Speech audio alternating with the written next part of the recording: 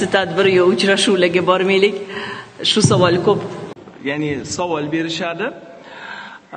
Umuman vazirligimiz albatta umuman o'qituvchilar oyligi oshishi biz uchun ham juda muhim.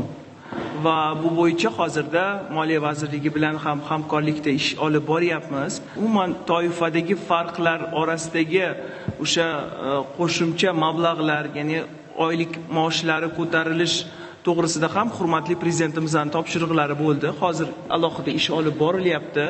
Lekin bir narsani aytishim kerak ming dollardan oshiq olayotgan ustozlarimiz ham bor.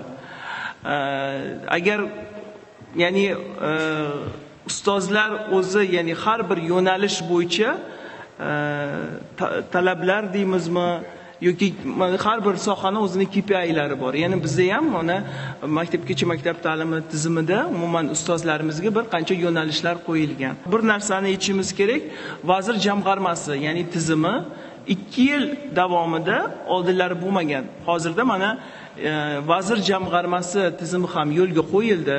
Ya'ni ushbu tizimdan imtihonlardan shaffof o'tgan ustozlarimizga har oyligiga besh milliondan besh million ya'ni qo'shimcha mablag' qo'shiladi bu ham albatta bu e, ustozlarimizga bu rag'bat.